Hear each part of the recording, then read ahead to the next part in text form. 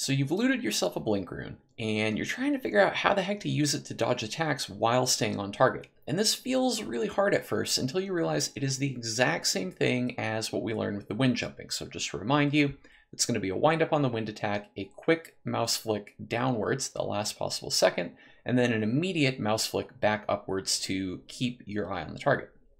So that kind of looks like this. And notice that we mostly stay looking at our opponent the entire time.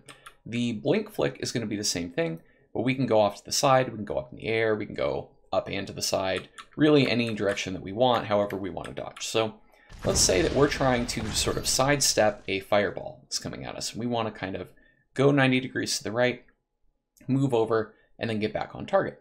Essentially what we're going to do is just that. We're going to blink over to the right, line up the shot, and as soon as we're back on target, we can fire.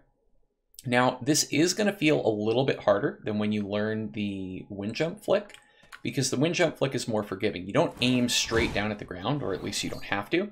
You can aim kind of out in front of you and still get the wind jump off. But if you're trying to dodge out of the way of an oncoming fireball, you really are going to want to turn a full 90 degrees, get that side step in, and then turn back. And so the motion is just a little bit longer, and you have to kind of get used to that but it's just a practice thing. You get the muscle memory eventually. You just really got to kind of grind it out in the practice lobby.